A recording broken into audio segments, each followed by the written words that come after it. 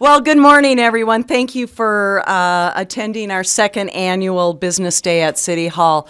The Chamber is real thrilled about this program and it being our second year. Um, this is very, very important to our chamber and I believe to the city.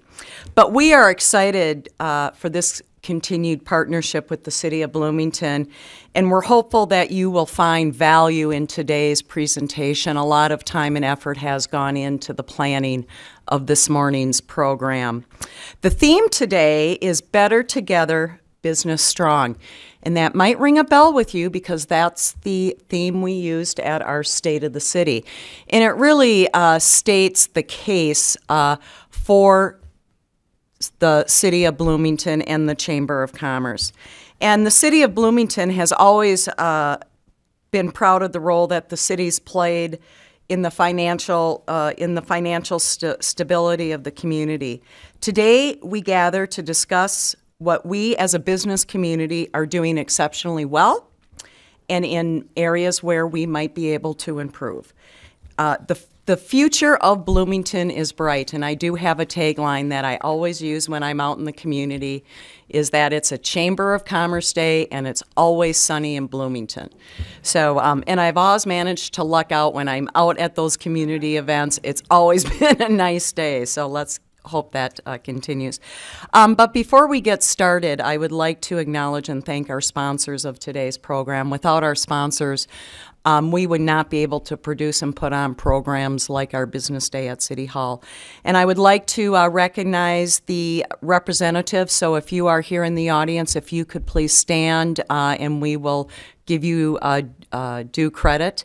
Um, we have uh, Donaldson. Drazen Henke and Associates, Envision, Health Partners, Holiday Station Stores, Mall of America, Normandale Community College, Waste Management, Weber Shandwick, and Xcel Energy. So could all the representatives from those firms please stand?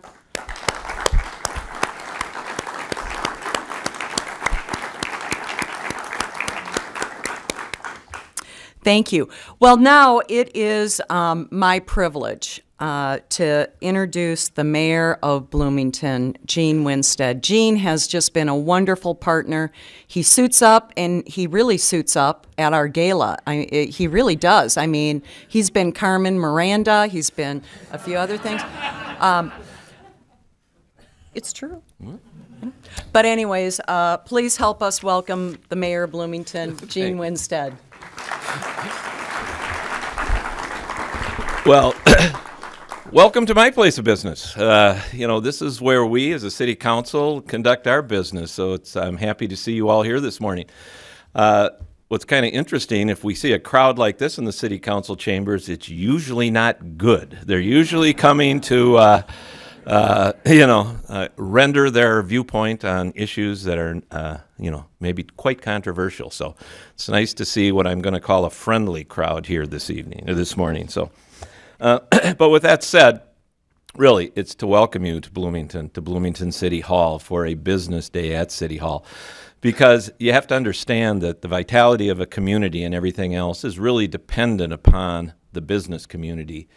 It's there, and so when it's good. And what's great is it's a vicious circle that if there's a vital business community, you end up with a vital city. A vital city then drives a more vital business community, and it just really keeps moving in the positive direction. So it's good to see. And uh, so it's great to see the representation that's here today from Bloomington businesses and businesses from outside the area that here and so that they can all know and Maureen she's got her tagline I've got my tagline that Bloomington is the center of the universe so I'm happy to see people coming from outside of Bloomington to uh, to be here and really uh, learn more and interact with the city. It is just very, very important for the vitality of both, both business and a community. Then that leads me to really talking about how our chamber works with our city, representing you as the businesses in all shapes and sizes. We go through different things, and it's just great to see the chamber working hard. It's been a great relationship, and it's really improved over the years. And I'm just so happy to see that happening, and we must continue that. So I think there's some good things on the uh, the the agenda for us today, and I want us to get going on it. Am I supposed to call up Jamie then? And well, and our city manager, Jamie Verbrugge, is here, and he's got some things he's going to report on what's happening in the city of Bloomington and ways we've learned and things we're doing. Good. Thank you. Good morning. Good morning, sir. All right. So, uh, welcome. Thank you again for being here today. As Maureen said, uh, there's been a lot of effort put into this uh, session today uh, because we're, we're uh, adamant and serious about this intention of partnering uh, with members of our community. And I have to find the places where I'm not going to give you feedback here. Um, so, uh, as, we, as we looked at the agenda today, uh, we wanted to make sure that we provide you again the results of the business survey. This is the second year that we've done the business survey. We're going to unveil those for you this morning. The City Council received that presentation last month, and so we keep it under wraps until this day so that you get to hear it first, and then we'll put it out in the, in the media after that. Okay. Uh, last year, we just communicated the results of the survey, and uh, then we kind of tucked it away because we didn't have a lot of trend data to look at. This year we've got a couple of years, and so uh, rather than just share the information, we want to get your feedback on the information. So the next uh, part of this morning, you'll actually be talking about that uh, with uh, each other, and we'll be recording those results. We're going to take that information in a couple of weeks. I'm going to be meeting with the, uh, the Chamber Board at their retreat, and we'll be talking about some of the interpretation uh, based on your feedback and maybe how we use that uh, over the course of the next year. So we have some specific questions to ask. And then you're going to get some information uh, beyond Bloomington that's more regional in nature about the, the vitality and the success of the Greater MSP region with the vice president of an organization called Greater MSP, Peter Frosch. Uh, they have a regional indicators dashboard. He'll be talking about that and then how it relates to our community. So before we start, though, we want to introduce some new faces around City Hall. So uh, you may remember Barb Clausen. Uh, kept the council in line for a good many years. Uh, Barb has headed off into retirement. She spent a few months down in Florida enjoying the twins and enjoying her husband Phil, and they're having a great time. Uh, she reports back, so we had to find somebody who could be as good as Barb at keeping the council in line. We did. Uh, Denise Dargan is our new council secretary. She was working over in our public works department before we brought her over. We have a new city attorney in town. Melissa Manderscheid comes to us from Kennedy Graven, uh, one of the firms that uh, deals uh, primarily with local governments. She has uh, great experience uh, serving other cities, and I think she's going to be the next great city attorney for Bloomington. Melissa? Alejandra Pelinka is here. Uh, she is our first director of creative placemaking and engagement. Uh, this is a position that is really unique to Bloomington. As a matter of fact, I've been watching uh, uh, on Twitter, it happens to be placemaking week around the country. And so, as I'm looking at the Twitter feed and all these people who are posting about placemaking, I don't see anybody that actually has a position that's doing this work. They're, they're relying on a lot, of, a lot of outside consultants and expertise in the arts community. Uh, the Bloomington City Council said this is important, and we want somebody who's going to drive this. And we are lucky to get Ali. Ali comes to us from the Northeast uh, Minneapolis Arts Association. So, Ali Pelinka, where is she? There she is. She's in back. Elizabeth Tolsman is our new assistant city manager. Some of you who've been around for a long time may remember Clark Arneson. Uh, Clark left back in early 2008 to go to the city of Blaine as the city manager. And uh, Mark Bernhardson uh, kept that position vacant for the remainder of the time that Mark was here. Uh, one of the one of the first things that I did after getting my feet underneath me was uh, to try and enlist some help uh, up in that office. And I was lucky to find Elizabeth Tolsman. Uh, she comes to us from Hennepin County, and prior to that, uh, she and I worked together for almost four years up in Brooklyn Park. Uh, her expertise is in facilitation, strategic planning, and uh, she's really good at organizational development work. Uh, she's also supervising our placemaking and our community engagement, uh, which is one of her real uh, specialties as well. Elizabeth? We have a new council member. I don't know if anybody noticed that or not. Uh, so, Kim Vlaisavljevich uh, is a five year Bloomington resident, is that correct? And so, Kim made it through a rigorous process. we had over 25, maybe even 30 applicants for that uh, vacant position when uh, Cynthia Bemis Abrams moved to Chicago.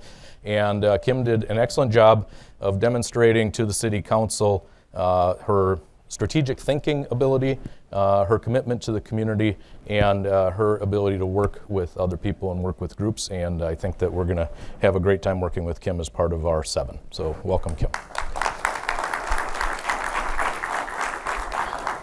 Finally, Chris Wilson is our new Human Resources Director. Uh, Chris can't be here this morning. She's off at another meeting. She's actually talking about something really important with our police chief and a number of other communities.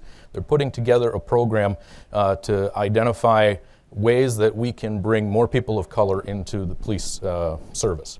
It's very difficult right now because the, uh, the programs that are training our, our law enforcement officers are having a difficult time attracting uh, people of color into the profession. Uh, so we have a number of cities working together who are trying to be really proactive about that. So Chris is focused on that this morning. She comes to us from Shakopee, where she was the assistant city administrator and HR director for the past 10 years or so. And before that, she worked for a group called uh, the Association of Metropolitan Municipalities, which is a lobbying group uh, that advocates for metro area cities. So she has tremendous local government experience. So uh, we're glad to have Chris back. Now, uh, one of the things, if you watch council meetings, uh, we've started the meetings with a little bit of uh, uh, why I love Bloomington from a resident's perspective, but we've also been asking the business community. And so, in the business community's own words, we want you to see why we love Bloomington.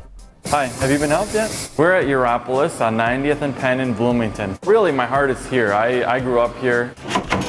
We have a lot of family connection here. Uh, we chose Bloomington also because it's a positive business environment. There's a lot of small businesses where um, we work together and support each other. And um, we've developed um, a good relationship with uh, some of the larger corporations as well, where we cater to them to go. The city of Bloomington was very beneficial to us. They love us, and uh, uh, here we are. Thank you. It's a great location. I've been here all my life, in, in, in and around Bloomington. I feel really comfortable, you know, living and working here and enjoy this, uh, this neighborhood a lot. I've often thought I should be in Nashville or, or maybe uh, Austin, Texas or someplace like that. But really, we are centrally located in the middle of North America. We really do have a strategic location for distribution, and it gives me the ability to take my van load of banjos to festivals on the east and west coast, which I do several times a year. We bought the building in 2003. We moved in in very early 2004, in fact, in January on a very cold day. The number one thing I can say about the city of Bloomington is when we went through the recession, and our industry was so dramatically affected. We got together with the state of Minnesota and worked on um, a, a loan through DEED, but the city of Bloomington had to, had to actually sponsor that loan. So we contacted the city and worked with uh, folks in the city, went before the mayor and the city council, and they were just phenomenal help. And I, I can honestly say that um, in community with Bloomington, we were able to successfully get through the recession, and you know now those years are behind us, and we've had really nice growth and uh, nice profit, and it would have been tough to do without the city supporting us in that loan. The thing that makes this location so special is the fact that we are the front porch for this community. We are we sit on this 50 acre development with a lot of residential and businesses directly around us.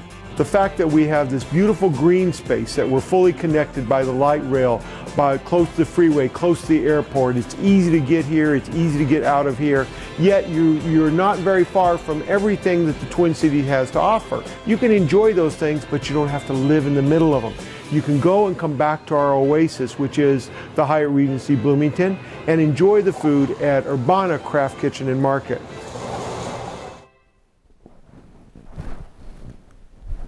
All right. So, thank you to those who participated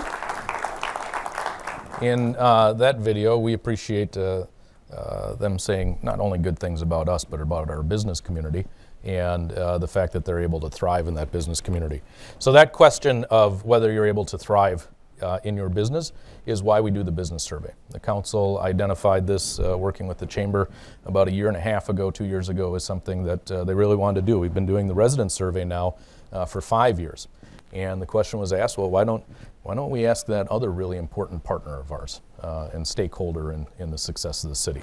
So uh, we have a National Research Council do the National Business Survey. Now, with the resident survey, they have over 500 communities, I think, nationwide that they have as a pool uh, to look at as comparisons, and then they narrow that down for us uh, to a group that's closer to 30 cities that are uh, much more similar in profile uh, that we can compare as a peer group. With the National Business Survey, this is a product that they've uh, more recently developed, and so they don't have nearly as many comparables in the pool. So we don't get as much uh, pure comparison data out of it, but we are, we are, because it's second year, able to start looking at some trends. And then we also compare it to the responses of our residents. And so, uh, two things that I will say about the survey. Uh, I'm going to say three things about the survey. First, um, very, very uh, grateful for enthusiastic and positive response uh, from the business community. Second, uh, the results are very similar uh, to the results we had last year, so it's a pretty stable environment.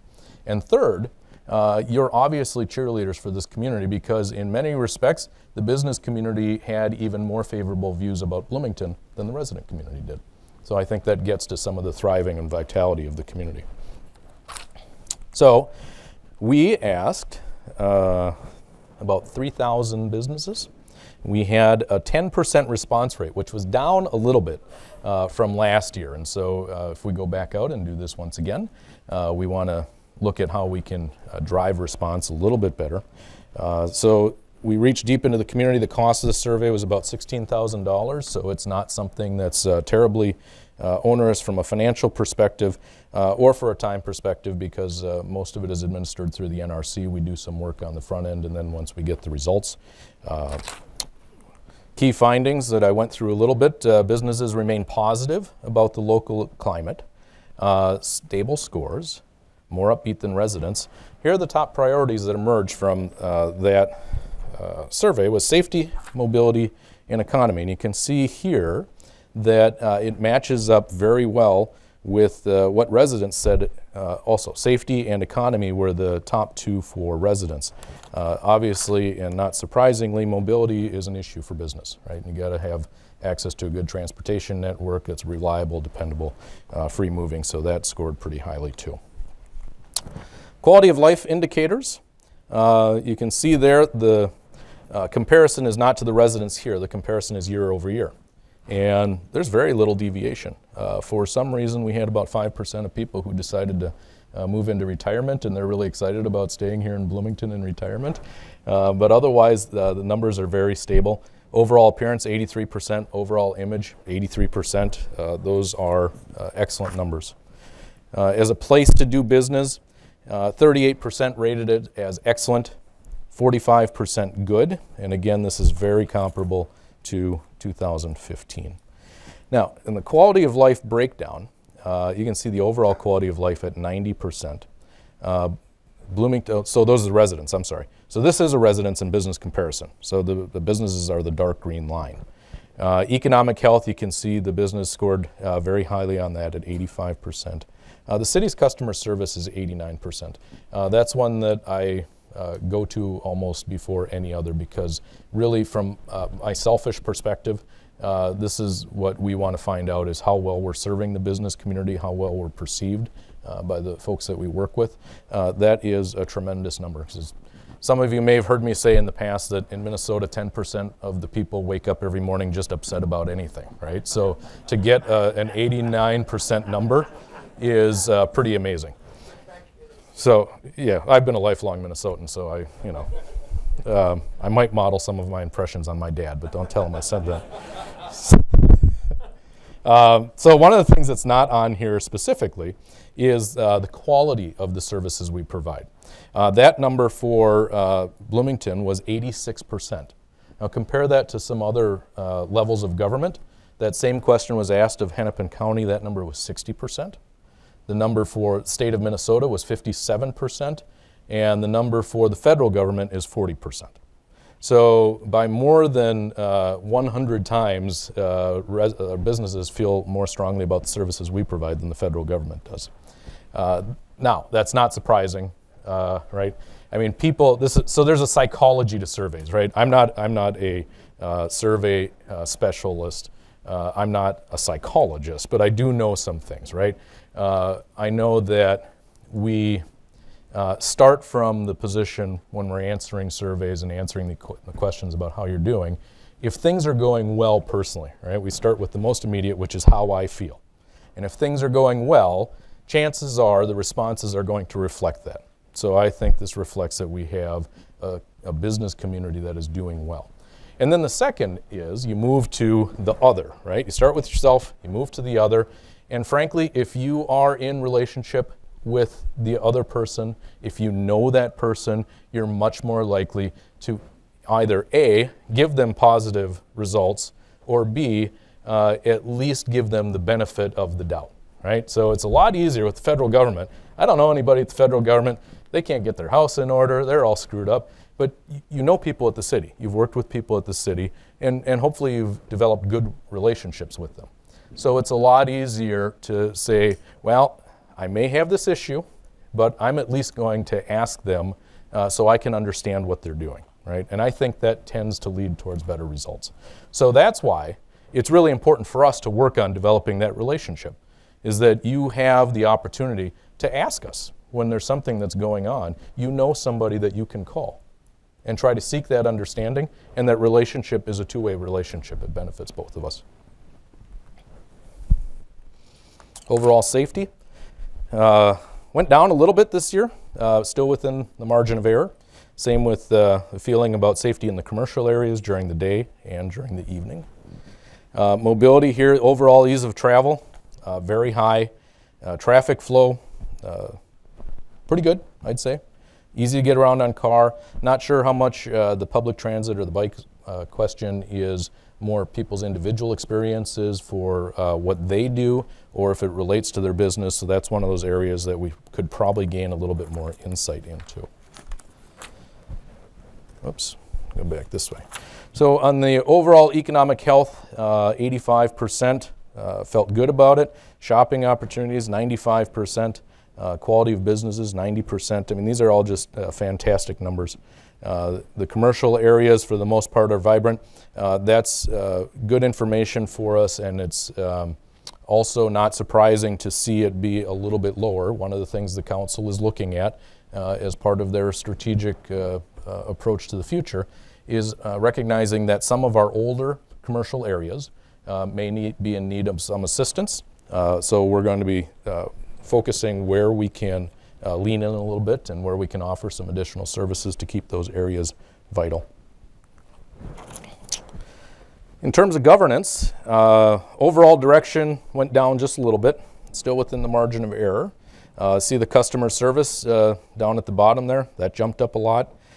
I always like this uh, question of the confidence in city government in the acting in Bloomington's interests. Uh, that number floating around 70%. That may seem a little bit negative. I'll put this in context of what's going on at a national level. So uh, when you see polling from around the country that asks uh, the question about uh, how you feel the levels of government are doing, the support for level of government, uh, for the local level of government, tends to be right around the 70% range. And then again, you see the state government tends to be in the 50 to 60, and the federal government uh, is usually down in the 30s or the 40s. If you ask about Congress, they're somewhere between 11 and 14 right now. Uh, again, people gravitate to what they know, what's most immediate to them, and so this number is right in line with what people think around the country about their local government. In terms of the value of services, uh, I want you to tuck this one away um, because we're going to ask you about this at our uh, next session here coming up. 65% uh, said good or excellent on the value of services. Now, that question is for the taxes that you pay. So, thinking about uh, what you pay taxes to the city, the value of services that you receive back. So, um, the quality of our services, remember I said was 86%, but only 65% of you said that the value uh, of services was good or excellent. So, we want to understand that one a little bit better. Uh, safety numbers, very good. Uh, this one is similar to the resident response. Uh, our, our numbers in terms of people's positive ratings are really high. Uh, our residents and our businesses both have a lot of confidence in the work that our police and fire do to maintain a safe environment. And then when you ask, what's the biggest concern over the next few years, at least we asked it of our residents, right? What's the one thing we could concentrate on in the next five years to make this a better community? Everybody says crime and public safety even though they're already saying that we really think that our public safety is doing a great job. So it's this little bit of a duality that uh, is is, a little bit hard to understand, uh, especially knowing that uh, crime in Bloomington is not uh, out of hand by any means. It's a very safe community in the neighborhoods. A lot of the crime uh, is driven by um, a lot of the commercial activity that is more in the neighborhood of theft and those types of activities. So uh, we don't have pervasive neighborhood concerns. So trying to understand the balance of we think public safety is doing a great job. Public safety is the thing that you have to focus on. Uh, is is uh, something that's a little difficult to understand, right? Again, psychology of surveys. I want to be safe. I think I am safe. So snow removal, 91 percent. Uh, that's good. Our folks pride themselves on uh, the service that they deliver and how well they do it. Uh, we have uh, excellent public works uh, in the city of Bloomington. In the area of environment, land use planning and zoning at 78%. Uh, this is one of those areas that when we do look at the national comparisons, that we're far better than most in that pool. So I think this speaks to uh, the relationship that the business community has with our uh, community development staff uh, and the, the, folks in inspections, the folks in planning, and how service friendly they are, frankly, and, and uh, focused on making sure that folks can be successful. Code enforcement's an interesting one. in the resident survey, this gets a pretty low number. What we're not able to understand is that because the people who are dissatisfied are ones who had a code enforcement action against them, or it's because they look around the neighborhood and they don't appreciate the appearance, right? So we don't have that depth of knowledge. And it's the same thing in the business survey. Is, uh, is this because there's a feeling that some of the commercial areas are a little bit shabby or the community is a little bit shabby? Or is it because uh, we've had some people that have uh, had to work with our code enforcement and environmental health folks uh, because of different uh, zoning code issues? Um, that's, a, that's an item of detail that we probably need to learn a little bit more about. In terms of the business climate, uh, the attracting new businesses and the retaining businesses, I think that this reflects uh, whether it's at top of mind for the respondent to the survey, right? Uh, if if retention or staying in Bloomington has been an issue for them, or they've seen maybe movement in the commercial areas around them, uh, they're probably more likely to, to wonder about this, and, and that might reflect some of these lower numbers. Uh, in terms of whether people are planning to keep their business in Bloomington, you can see 93%. And then uh, almost just as many are champions for the community. And really, that's what we're hoping for. And through our efforts, that's what we're trying to promote is that the business community does become a champion, uh, not just for your own business, but for this community as a place to do business. About 40% say they're going to be hiring in the next uh, six months to a year. Equal numbers say probably not. Um, these are some of the workforce issues. Some of the feedback we got is that uh, the workforce questions are not ones that they likely look to the uh, city to give them a lot of help on uh, with these beneficial services. Um, you can see people are much more focused on whether we could assist them in creating business improvement districts or providing uh, energy efficient loans, uh, those types of things, different, different ways to uh, finance some of the needed reinvestments back into the businesses. Uh, and here's that question again in a different way with government assistance. Um, so you can see that people are much less, they say that these are programs that they may benefit from, they don't necessarily need the assistance from the government to do it. And down there at the bottom, you see that worker hiring and training program is only at about 18%. And there are, frankly, services that are available through the Workforce Investment Board of Hennepin County or through the Department of Employment and Economic Development of the state of Minnesota. So we are not the sole provider of this type of service, and in fact, there are other level levels of government that have more capacity to do it. In terms of the open-ended comments, 25% uh, uh, volunteered to participate, and then they said they had no comment.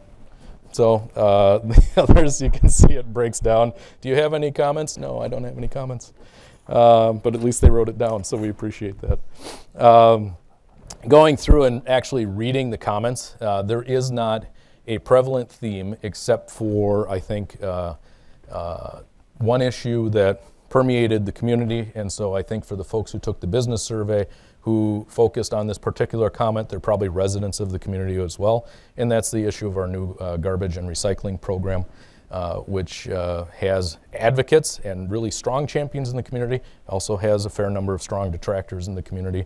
And so most of the negative feedback that we received uh, had to do with the new program. But overall, uh, I'm going to go back there. Overall, again, the, um, the results are very positive. Not much change, stable environment. Uh, the business community, I think, feels that this is a good place to do business. It's reflected in, in the survey, in the confidence within the community, uh, and the fact that um, uh, your, your opinion is a little bit higher than residents uh, tells us that um, we're doing okay. I will never say we're doing great because there's always room for improvement, right? Uh, we're doing good, we're doing well, uh, and we're looking to do better. And so uh, as we look to the future, we have this thing called Forward 2040 we have to do a comprehensive plan every 10 years that gets submitted to the Metropolitan Council. And uh, we have to bring our comprehensive plan into alignment with the system statements that the Metropolitan Council develops for the region, and they also give us specific information for our community. Uh, so, again, wanting to do this in partnership with the community, uh, the staff has already put together some uh, sessions to go out and get some input from folks. We had four outreach sessions uh, in the last couple months, and that frankly generated a lot of enthusiasm. Uh, I think for this topic, we had somewhere between uh, 40 and 50 for all four of those events, which is pretty good attendance on sort of this obscure topic, right? That probably doesn't resonate with a lot of people. And then the council uh, decided they want to establish a, an advisory committee for Forward 2040 to work with our staff and help develop the comprehensive plan uh, to bring forward through the council and through the planning commission towards adoption. Uh, we had more people apply for that than I think we've had uh, any other opening for resident and business uh, involvement in the, since I've been here anyway. We had 62 people apply for this position, um, which is fantastic it made it hard for us because it's a lot of people to go through and we don't necessarily know all of them. So we're still working through that process. The council will be uh, getting to the appointments probably in the next couple of weeks. That group's going to start working in October. Uh, so the comprehensive plan like I said, has to be cons uh, consistent with the system policy plans. And it provides policy guidance and uh, sets the priorities regarding development and provision of our city services and our programs and our public infrastructure and our amenities. Um, and it's a process that we're going to make sure we get a lot of feedback on uh, as it works its way uh, through the development and then through the uh, approval process. Has to be done by uh, 2018, is that right, Larry? We got about two years to go here uh, before final adoption at the Met Council. So uh, this is a committee that we're going to lean on uh, for a lot of feedback.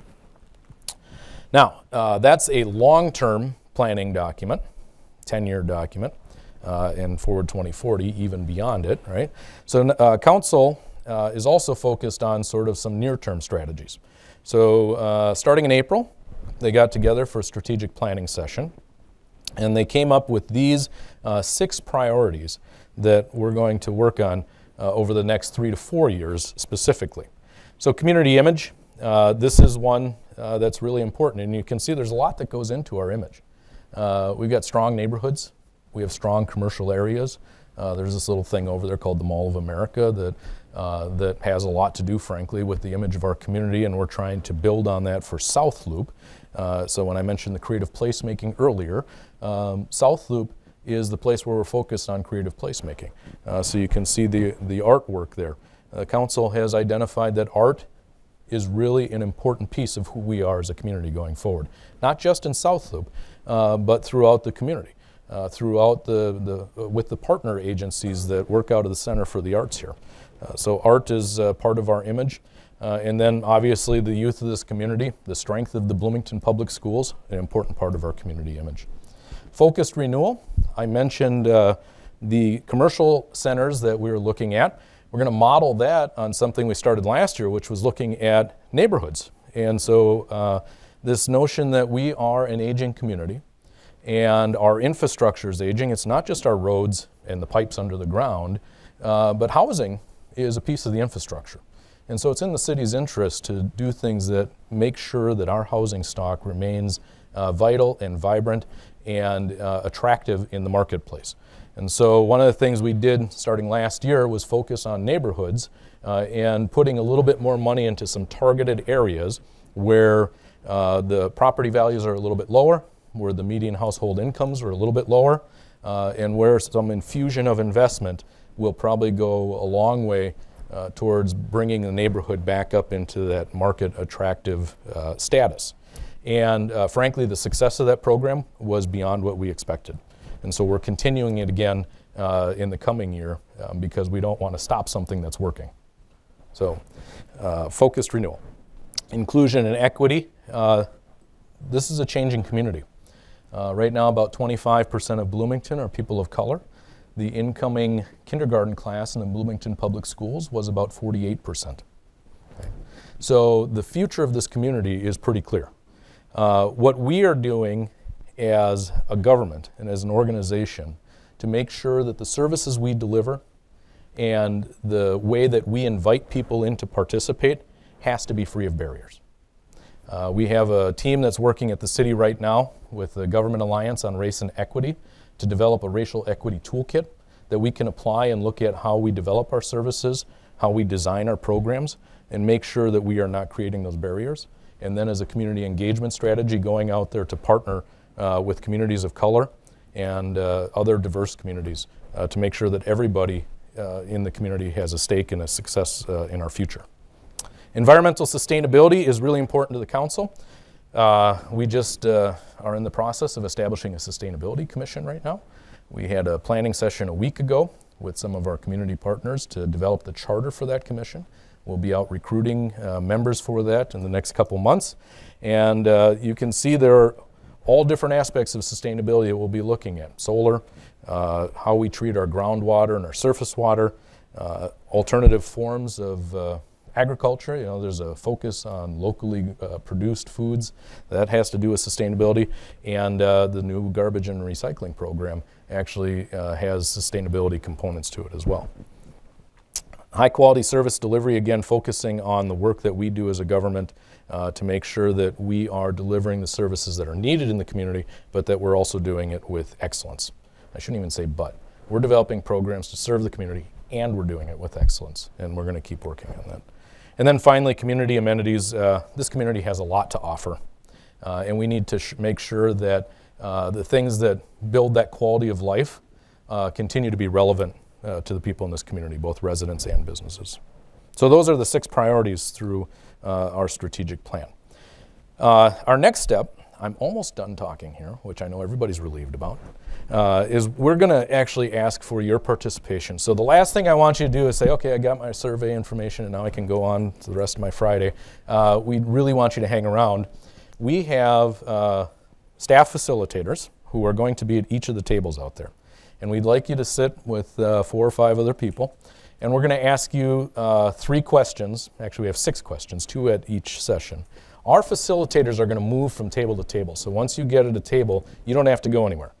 Uh, we're going to ask you uh, to spend about 10 to 15 minutes uh, on each of these uh, quick sessions giving us feedback on some of the survey information that we can then take, interpret, and go talk to the chamber board about and talk to our council.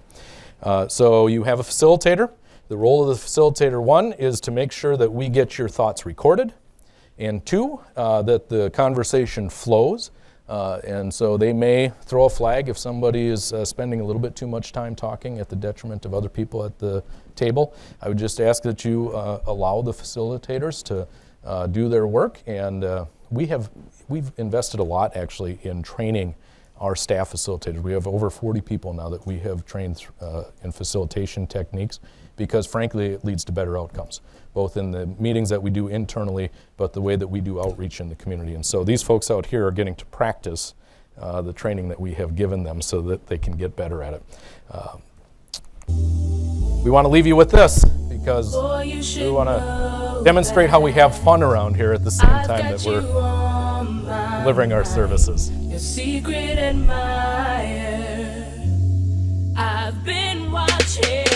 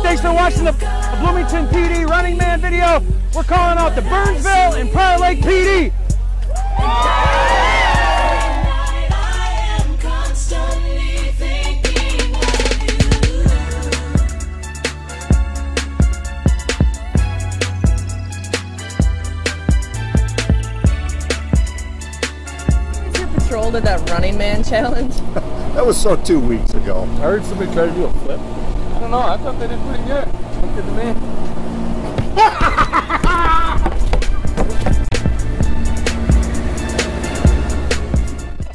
So uh, we have our staff ready to go out there, but before you do that, while you're socializing, I encourage you to actually meet with uh, some of the table vendors who are out here. We've got our own city staff for some of our services, and we have some of our community partners, Artistry, Open to Business, uh, the Partnership Center at Normandale are just a few of those that are out there. So take the next 15 minutes, um, uh, have some conversation, see where we can be of help to you and then we'll uh, ring the bell out there when we're ready to sit down at the tables. All we ask is that when you hear the bell, you move expeditiously to a table so that we can keep on schedule. Okay? Thank Thank you, Jamie. And again, it's very important that we get your feedback um, when we do the roundtable discussions. The city and the chamber has put a lot of time and effort to make this happen. It's really going to help us facilitate and make some really strategic decisions as we're moving forward with the chamber and the city as our partners. So um, let's give Jamie a round of applause. Um, if you could also stop by our sponsor booth, I think we have some sponsors out there as well. But uh, this is a great resource, so please uh, use it.